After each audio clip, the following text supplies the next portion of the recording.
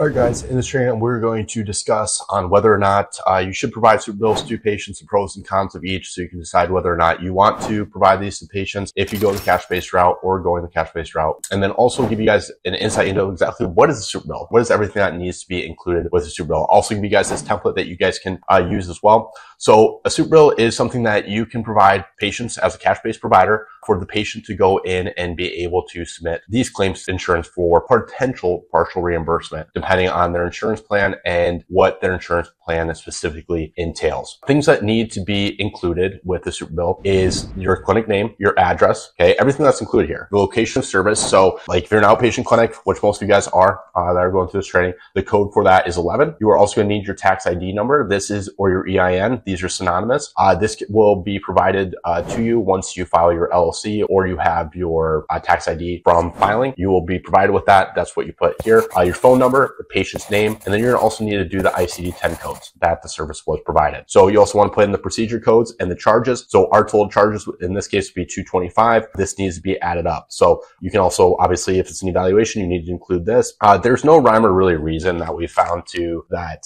usually for follow-ups, what's easiest is to just divide the units equally. So for example, this is for like initial evaluation. Uh, let's say the initial evaluation took like half hour and then treatment units were around 50 bucks per unit. We've got, actually, this should be 125.